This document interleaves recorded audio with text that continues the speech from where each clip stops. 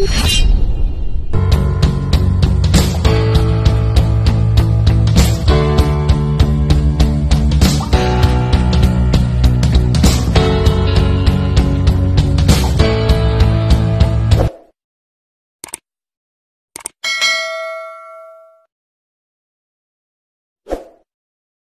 guys, napusok na kami.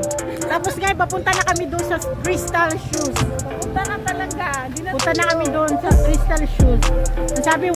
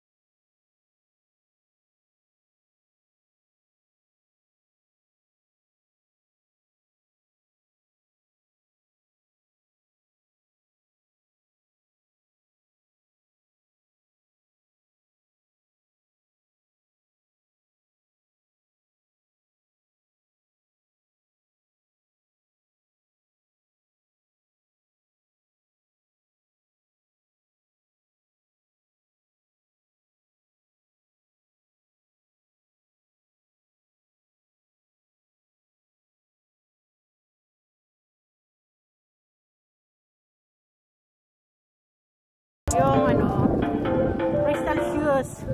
Nakita na talaga namin.